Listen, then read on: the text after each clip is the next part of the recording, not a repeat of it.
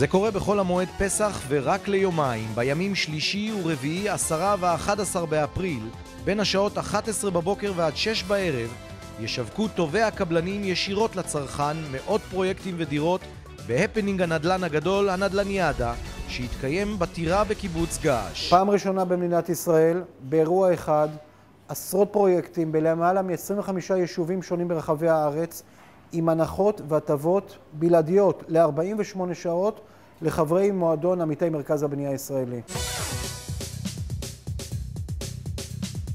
וחברות הבנייה הגדולות כבר מתכוננים לקהל הרב שצפוי להגיע לאירוע. אנחנו נותנים תנאים שלא נתנו, זאת אומרת, זה תנאים חדשים, הגענו למספרים אה, יותר אטרקטיביים, וזו הזדמנות, כי זה גם שתי הבניינים האחרונים שלנו שפונים לפארק.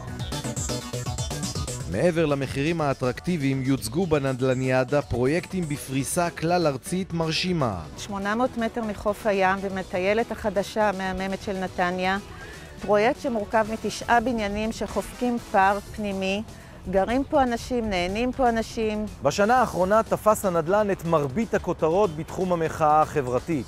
והנה, אולי עכשיו הגיעה ההזדמנות שלכם לקנות את דירת חלומותיכם. זה הזמן.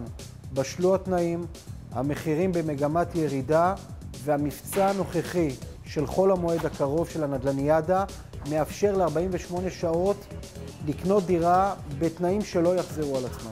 ויהיו כאן גם הזדמנויות למי שמחפש השקעה. זה 140 יחידות דיור, חדר וחצי שתיים, החל מ-450 אלף שקלים, 6% תשואה, התחייבות לעשר שנים, הזדמנות מצוינת למשקיעים. אז אירוע הנדל"ן של השנה בפתח, הקבלנים, מומחי המשכנתאות של הבנקים וגם אנשי מרכז הבנייה מחכים לכם בנדל"ניאדה, עשירי ו-11 באפריל, חול המועד פסח.